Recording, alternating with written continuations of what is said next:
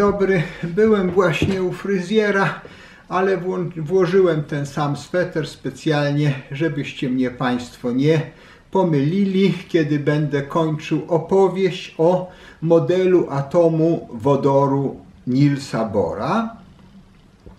Opowiedziałem na razie o historycznych okolicznościach powstania tego modelu, tak o tym, jak fizyka krok po kroku no, ro- rozszyfrowywała tajemnice mikroświata. I mówiłem też o pierwszych próbach zbudowania modelu atomu, e, modeli atomów, tak podejmowanych przez ludzi, których nazwiska tu są zapisane. Im się nie udało i kiedy dzisiaj czytamy ich pracę, to mamy świadomość, że nie mogło im się udać, bo oni jeszcze zbyt wielu rzeczy nie wiedzieli. Tak jeszcze fizyka nie dojrzała do dokonania tego odkrycia,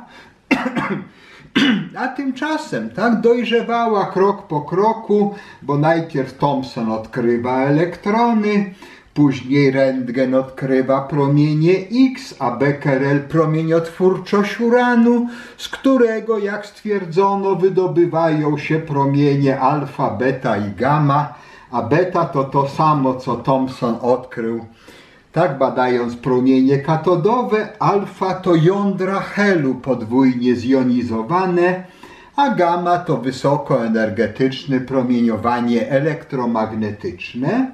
Tak to jest wszystko wzmocnione przez badania Marii i Piera Curie, czy Marii Skłodowskiej, tak, nad e, Polonem i Radem.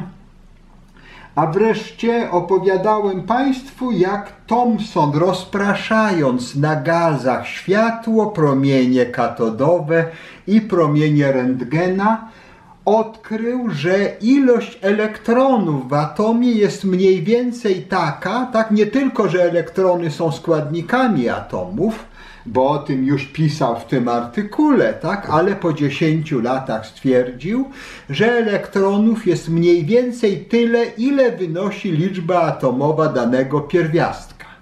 Czyli w atomie wodoru mamy jeden elektron prawdopodobnie, w atomie helu dwa elektrony, w atomie litu trzy elektrony, a w atomie tlenu osiem elektronów i tak dalej. Tak jak spojrzycie na, na tablicę Mendelejewa, to tam przy każdym pierwiastku są po kolei wypisane liczby atomowe.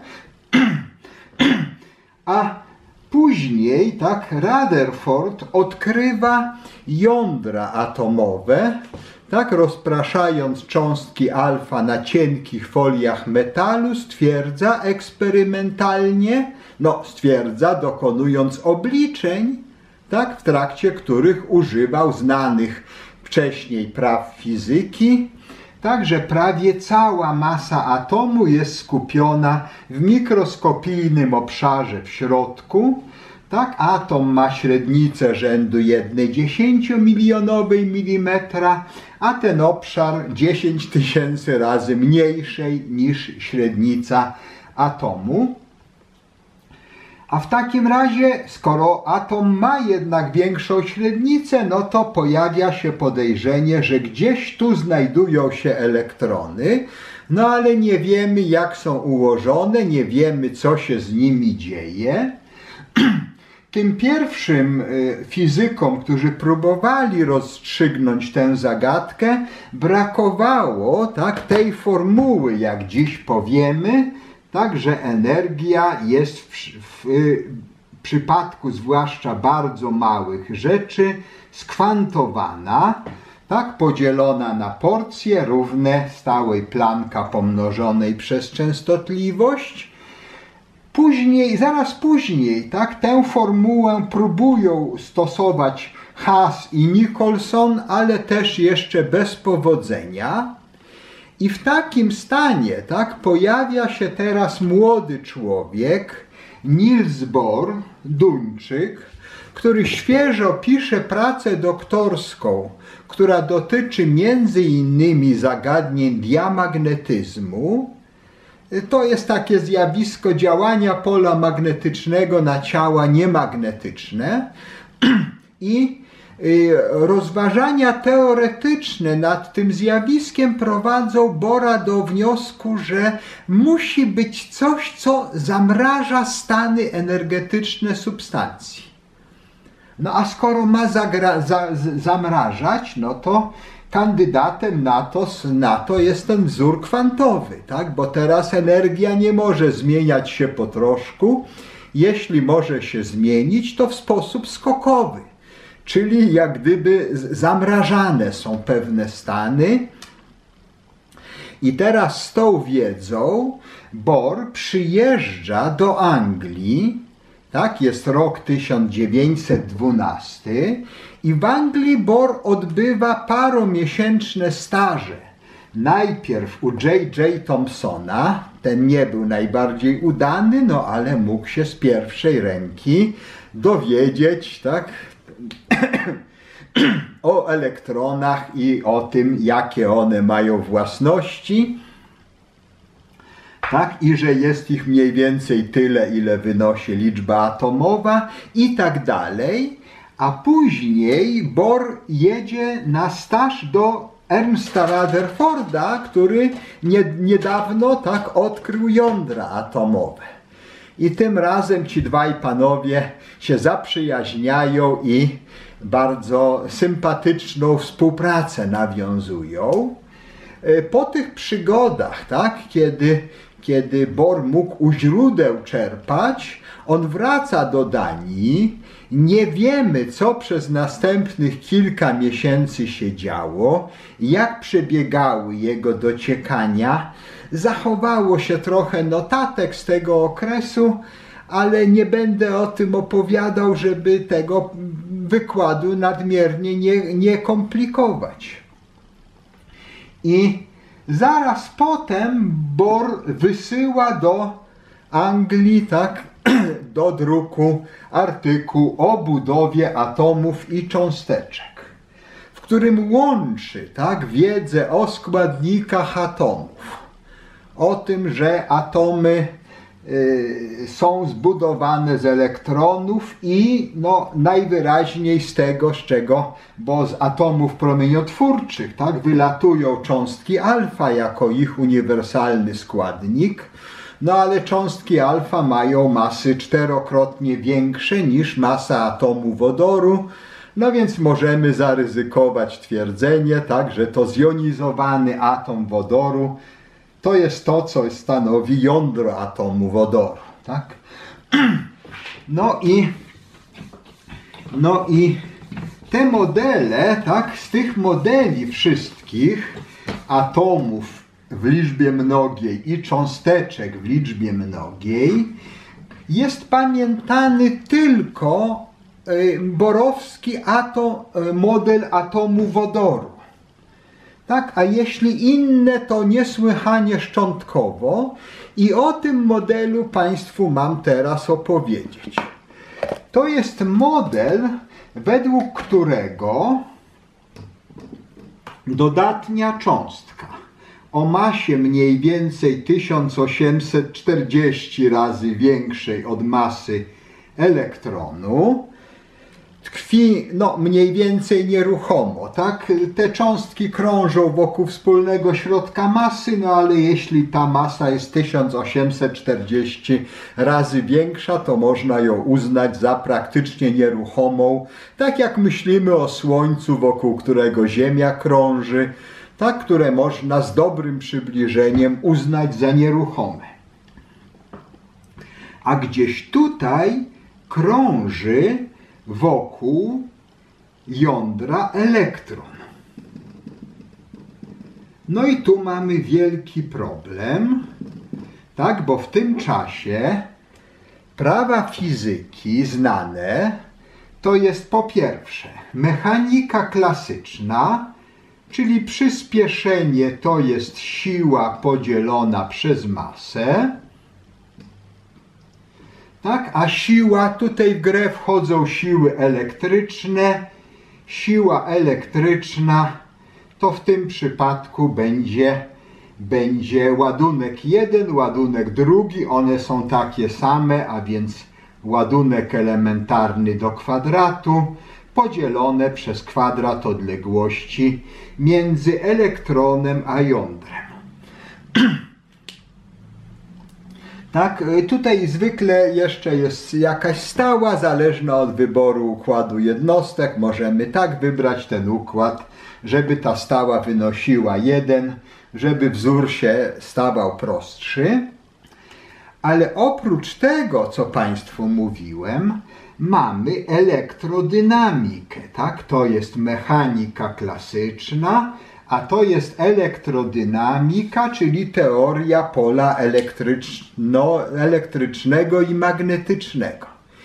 I mówiłem Państwu o tym, że według elektrodynamiki ładunek nieruchomy wytwarza wokół siebie pole elektryczne, ładunek elektryczny w ruchu wytwarza wokół siebie pole elektryczne i wirujące wokół linii, po której się porusza pole magnetyczne, a jeśli ładunek doznaje przyspieszenia, to emituje fale elektromagnetyczne.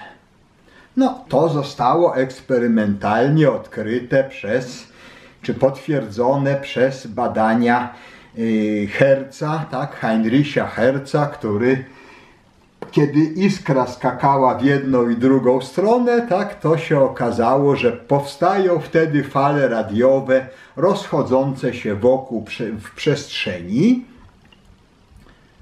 A więc mamy znakomite potwierdzenie dla praw elektrodynamiki, ale gdyby było pra, gdyby ale teraz ten elektron, skoro on krąży, tak, z jakąś prędkością krąży wokół jądra,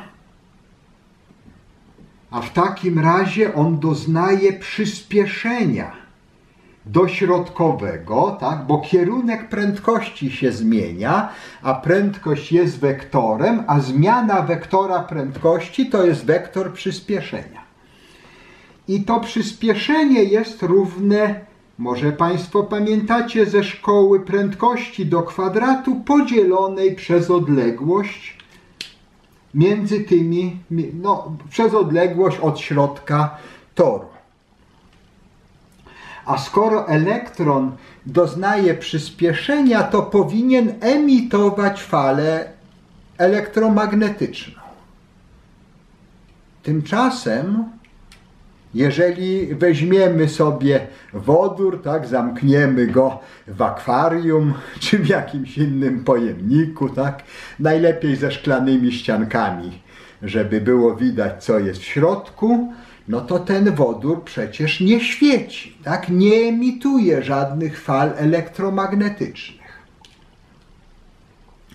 Czyli jeśli prawdą jest, że elektrony krążą wokół jąder, to, to będzie to oznaczać, że w mikroświecie dla niesłychanie małych odległości nie obowiązują prawa elektrodynamiki. Tak, tak jak Einstein wykazał, że jeśli światło przekazuje tak, energię w sposób dyskretny, albo pochłania energię w sposób dyskretny, to znaczy, że ono samo w tym momencie jakby nie podlega prawom elektrodynamiki. Także są mikrozjawiska, gdzie prawa znane nam no, ze świata takich rozmiarów, jakie, jakie są dostępne dla naszych zmysłów, no, może jeszcze świata widzianego przez mikroskop, tak, w powiększeniu na przykład 2000 razy, to już maksimum, prawda? W tym świecie obowiązują inne prawa niż wtedy, kiedy schodzimy do wielkości rzędu jednej dziesięciomilionowej milimetra. I elektron może krążyć po takiej orbicie nie emitując fal elektromagnetycznych, ale jaka to jest orbita? Czy to jest dowolna orbita, czy niedowolna orbita? ja Państwu mówiłem, że jeżeli weźmiemy ten wodór, tak, zamknięty w szklanym naczyniu i tutaj przepuścimy przez niego tak strumień światła o widmie ciągłym, przez jakąś małą szczelinkę, żeby to był cienki promień światła, a tu umieścimy pryzmat, tak? To to światło, które tu przejdzie w pryzmacie się rozszczepi, tak? Na światło czerwone i na światło fioletowe, a po środku inne barwy tęczy, ale okaże się, że to widmo nie jest ciągłe tylko widzimy coś takiego. Tak? Tutaj na moim rysunku nie ma barw, tu powinien być czerwony, a tu fioletowy kolor. Tak? Ten wodór jakby zjadł część częstotliwości. Ale widać, że te linie nam się one układają w jakiś taki wyraźnie harmonijny sposób. Wodór jest tutaj wyjątkiem w gruncie rzeczy w przyrodzie. W przypadku innych pierwiastków tych linii jest całe mnóstwo, to jest jedna z serii linii wodoru, to nie jest jedyna, ale te inne to występują w nadfiolecie i w podczerwieni. tak? I i właśnie, tak? Czyli w, w, przypadku wodoru widać jakąś taką piękną harmonię, co nas naprowadza na myśl, żeby dla wodoru szukać, szukać jak i dalej, tak? Żeby rozstrzygnąć skąd ten ład się wziął wśród tych linii widmowych.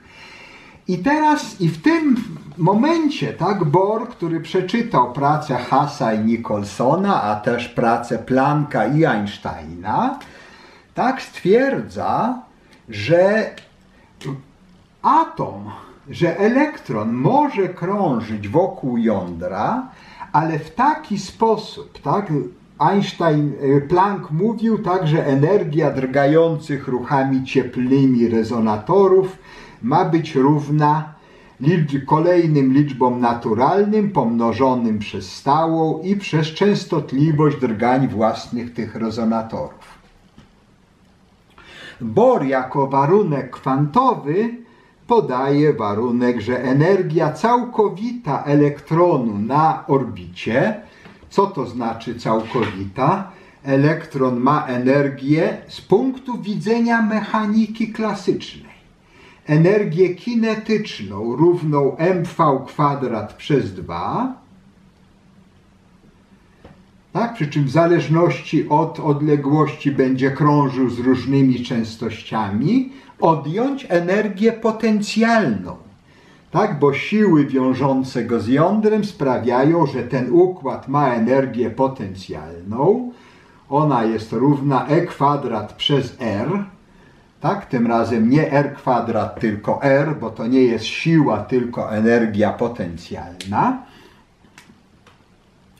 I teraz ta całkowita energia ma być równa kolejnym liczbom całkowitym pomnożonym przez stałą Plancka razy częstotliwość obiegu elektronu wokół jądra, a to wszystko podzielone przez dwa. Skąd się ta dwójka wzięła w rozważaniach Planka, on tego nie tłumaczy. Są różne podejrzenia, skąd tą, tą dwójkę wziął.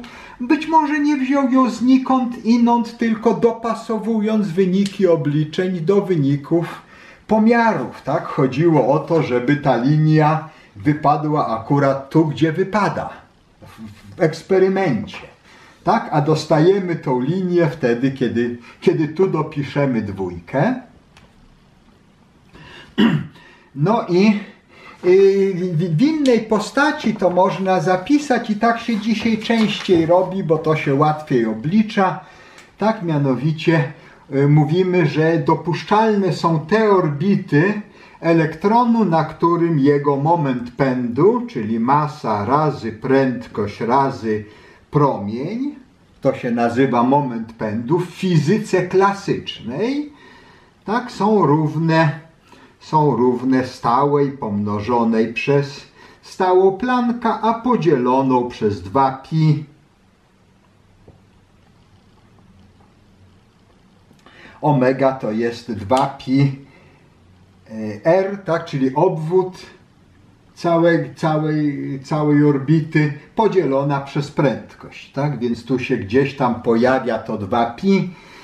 Wybacz, tak nie będę tutaj Państwu demonstrował wyprowadzania kolejnych wzorów, bo nie chcę nikogo wystraszyć tak, takimi rzeczami. Są popularne książki do fizyki, gdzie można takie wyprowadzania znaleźć, a, ale, ale, ale darujmy to sobie w wykładzie przeznaczonym dla wszystkich, tak, a wszyscy, chociaż ci, którzy słuchają moich wykładów, to są ludzie bez wyjątku ciekawi świata, tak, no to może kogoś znuży, znużą żmudne wyprowadzenia matematyczne. W każdym razie, jeśli się ich dokona, to stwierdzamy, a tu jeszcze jedno. Skoro mamy takie warunki kwantowe, to w takim razie tych dopuszczalnych orbit, jeśli to jest dopuszczalna orbita dla n równego 1, to będzie większa. Dla n równego 2 tu gdzieś będzie dopuszczalna orbita. Dla n równego 3 gdzieś tu będzie dopuszczalna orbita. I tak dalej. Potem następna dopuszczalna orbita. Tak, to są orbity, po których elektronowi wolno krążyć, a na każdej z tych orbit już może zetrę wszystkie inne wzory, bo i tak mi się nie zmieszczą na mojej w końcu niewielkiej tablicy. Tak, to dla tych wszystkich, to dla, jak się ogląda na YouTubie wykład, to nic nie przepada, zawsze można wrócić do poprzedniego, tak, wrócić kursorem i zobaczyć te wzory jeszcze raz. Tak? I okazuje się wtedy, że dla orbity o numerze n całkowita energia elektronu, tak? ta, ta energia, którą ma elektron tak? i którą trzeba by dostarczyć elektronowi, żeby wyrwać go z tej orbity i wyrzucić w nieskończoność. Taka całkowita energia będzie równa minus 2pi y, kwadrat pomnożone przez masę elektronu, pomnożone przez jego ładunek do czwartej potęgi, podzielone przez kwadrat stałej Plancka, a to wszystko pomnożone przez 1 przez n kwadrat. Tak, tu jest ta nasza liczba kwantowa n, która przybiera wartości 1, 2, 3, 4 i tak dalej może przybrać bo wartość 140, tak? Dlaczego by nie? Wtedy elektron znajdzie się bardzo dalej, dużo dalej niż ta jedna dziesięciomilionowa milimetra normalnie. Tak, bo ta jedna dziesięciomilionowa to jest typowa energia atomów w stanie niewzbudzonym, kiedy elektrony, bo tu energia jest najmniejsza, tak? A tak jak, tak jak tak jak ciała w naszym świecie, tak jak są na pochyłej powierzchni, to same się staczają, tak? Bo tam będą mieć in, mniejszą energię niżej. I oddadzą ją na coś, tak? I teraz, i teraz mamy te dopuszczalne orbity, tak? Przy czym normalnie elektron znajduje się na najbliższej jemu dostępnej, czyli w przypadku atomu wodoru na pierwszej. Gdyby to był atom tlenu i zabierał 8 elektronów, to by sytuacja była skomplikowana, bo tu by były, tu by był elektron i tu, i tu, i tu, i tu, i tu, i tu, a jeszcze jeden tutaj na przykład, tak? I mamy skomplikowaną sytuację, ale w przypadku wodoru to, to, to jest proste, tak? Elektron jest najniżej jak tylko może.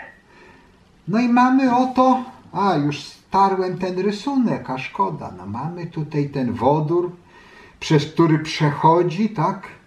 cienka smuszka światła o ciągłym spektrum promieniowania. I teraz dzieją się rzeczy przedziwne. Bo jeżeli y, są skwantowane orbity, tak, tylko niektóre są dopuszczalne, to żeby przeskoczyć z tej orbity na tą orbitę na przykład, tak, elektron skacze z tej orbity na tą orbitę i zaczyna krążyć potem. No to trzeba mu dostarczyć teraz, tak, przeskakuje na M, no to odjąć tutaj 1 przez m kwadrat. Tak, od jedności od, odjęliśmy jedną czwartą w tym przypadku. No i to bierzemy w nawias, tak, bo mnożymy to wszystko przez tą różnicę.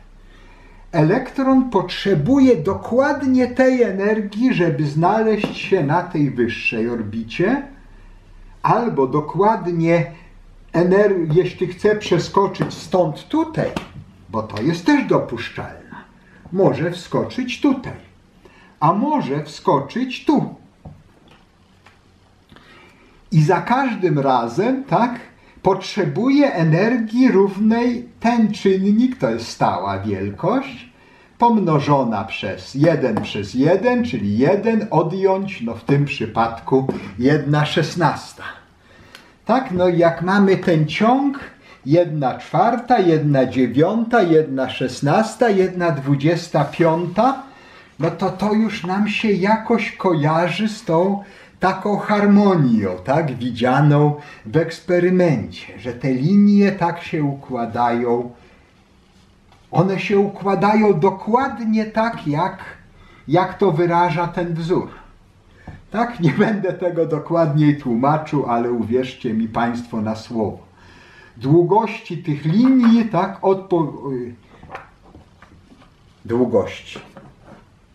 Teraz światło samo traktujemy jako zjawisko kwantowe.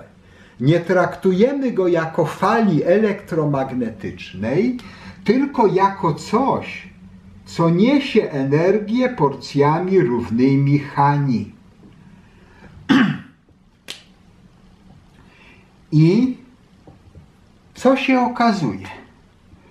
Przechodzi światło sobie przez zbiornik z wodorem, mija atomy wodoru, mija elektrony krążące wokół jądra. I jeśli to jest światło o akurat takiej długości fali, tak, to, to jest wyskalowane w jednostkach długości fal. Długość fali to jest, tak, to jest prędkość światła przez częstotliwość. Tak, tu mamy częstotliwość, a tu lambda, czyli odwrotność jakby częstotliwości z uwzględnieniem prędkości światła.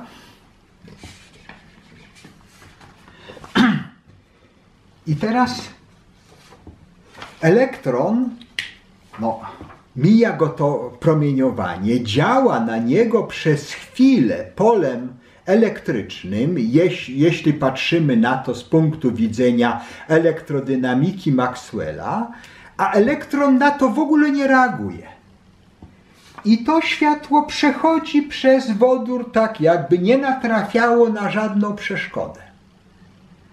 Ale kiedy trafi się fala elektromagnetyczna, mówię raz tak, a raz tak, o dokładnie takiej częstotliwości, jakiej elektronowi potrzeba, żeby wykonać przeskok stąd tu, albo stąd tu, albo stąd tu, a jak już jest tu, no to dokładnie z kolei stąd tutaj może przeskoczyć, tak?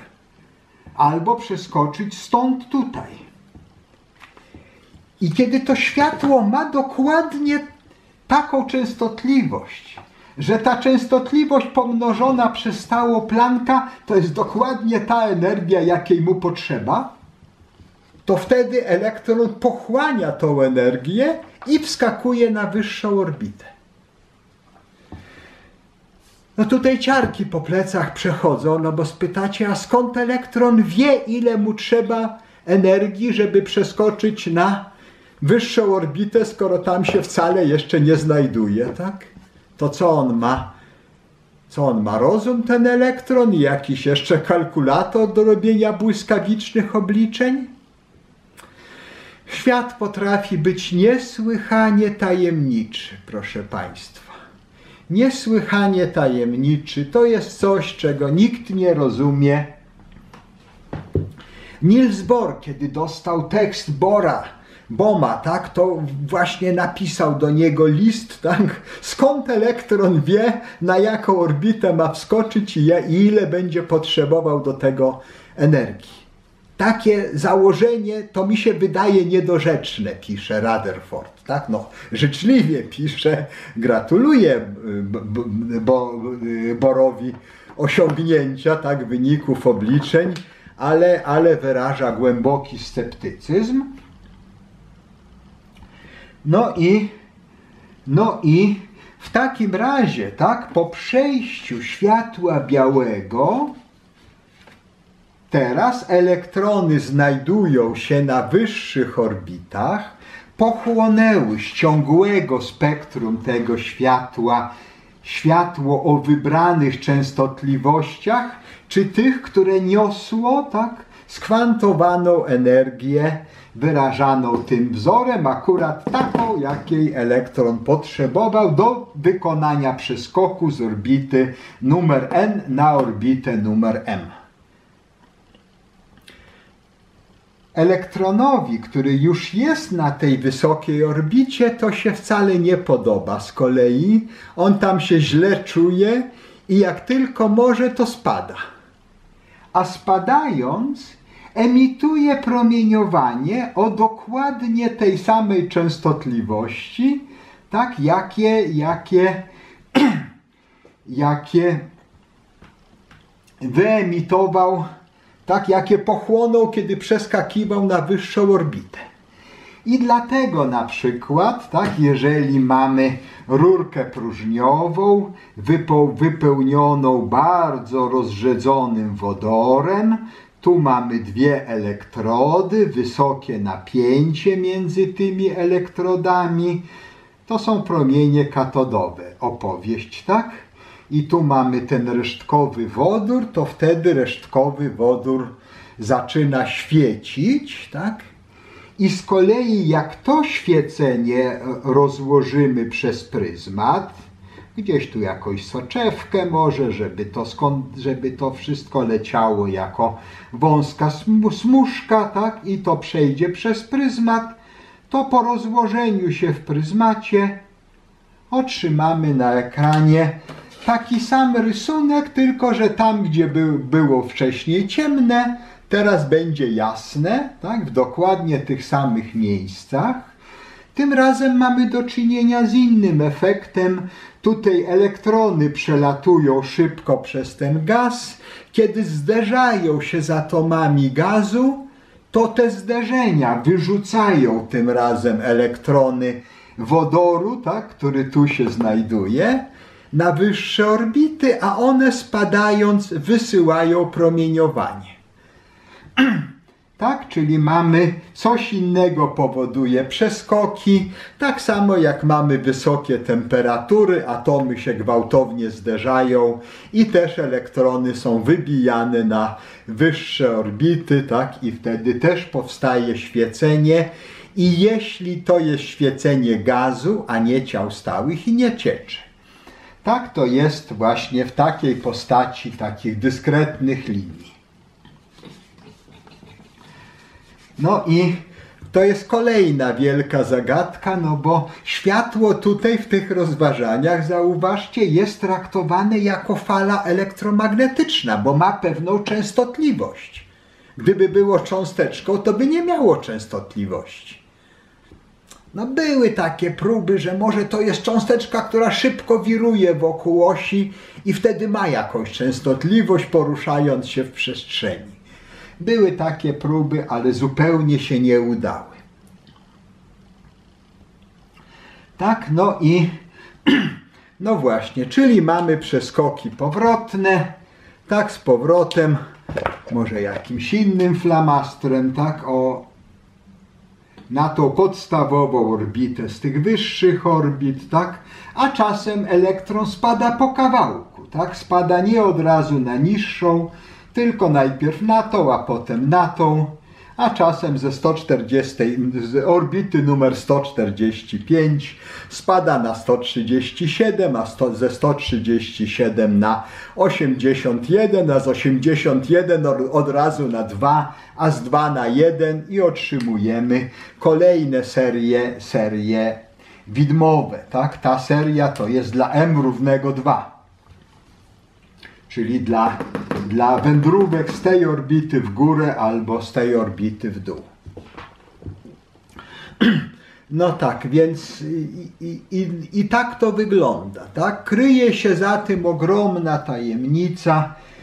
Y, model, y, model Bora, y, te wysiłki, Bohr później próbował też zbudować analogiczne modele dla innych pierwiastków, to robi w drugiej części tego swojego artykułu, te modele są kompletnie nieudane.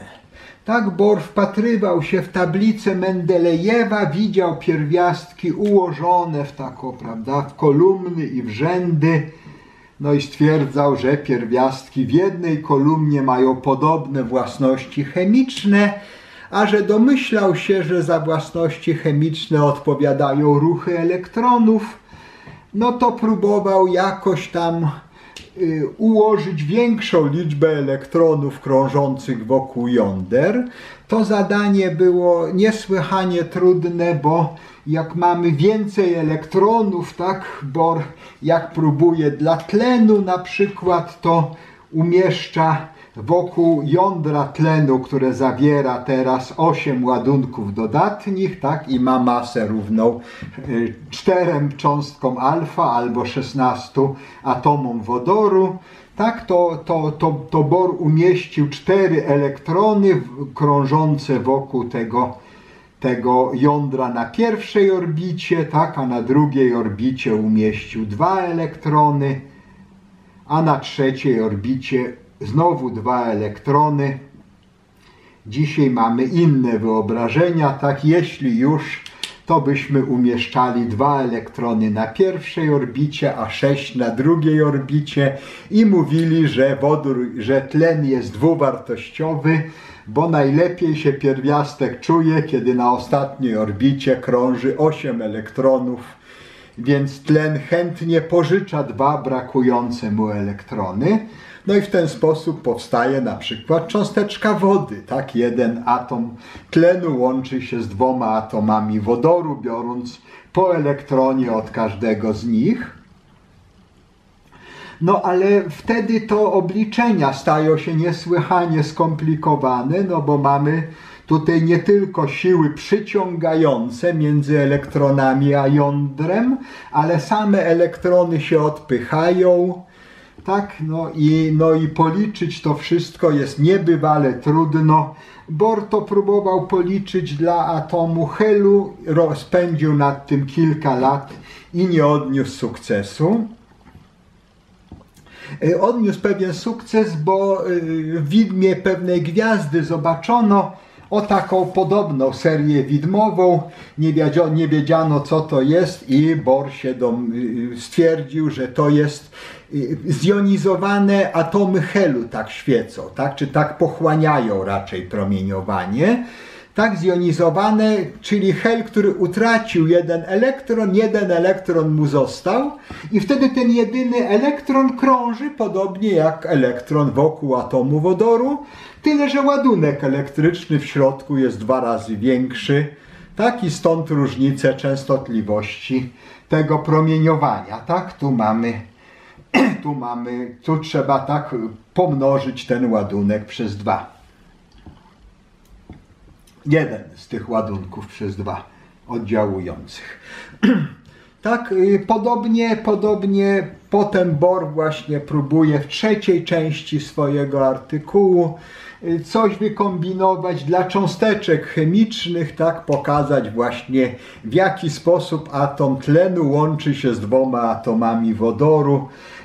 I kiedy czytamy tę drugą i trzecią część artykułu Bora, to stwierdzamy to samo, co stwierdzamy o jego poprzednikach, że Bor nie miał szansy na znalezienie rozwiązania, bo żeby to rozwiązanie znaleźć, to trzeba było zupełnie nowych narzędzi teoretycznych, tak?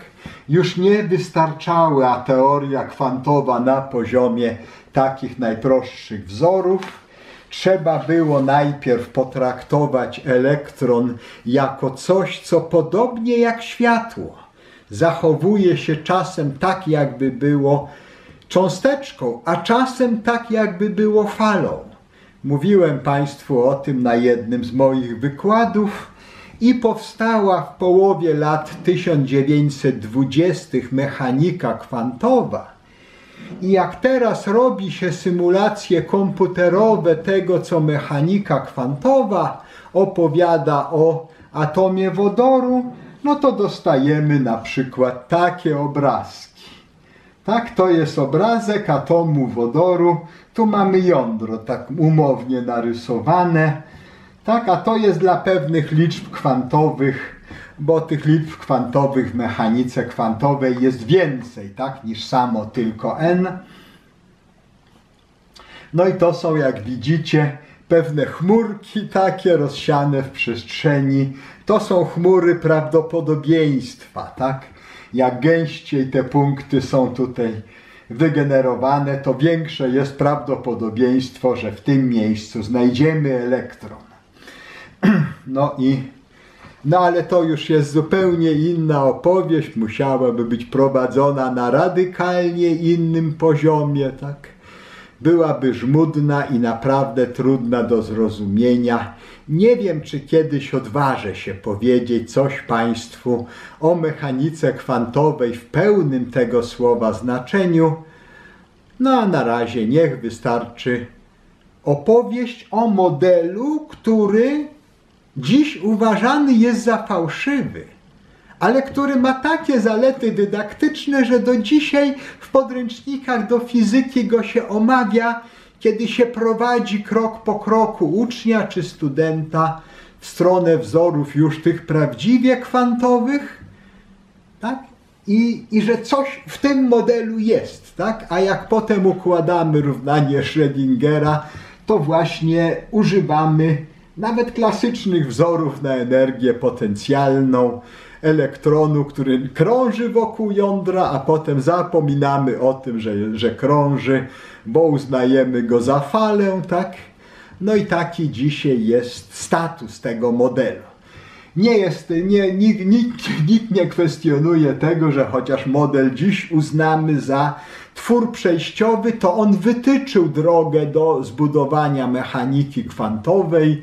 Tak, dla Diraka, Heisenberga, Schrödingera ten model będzie takim, takim tropem przewodnim i dlatego nikt nie kwestionuje tego, że Bohr dostał Nagrodę Nobla za ten model. Tak, i to jeszcze w roku, zanim jeszcze De Broglie stwierdził, że elektrony mogą zachowywać się jak fale. Tak, to stwierdził po roku. To może Bohr miał trochę szczęścia, bo jakby rok minął, to by powiedzieli, że jednak się mylił, to mu Nagrody Nobla nie damy. Nie, nie, ta nagroda była absolutnie zasłużona. Dobra, to tyle na dzisiaj. Dziękuję.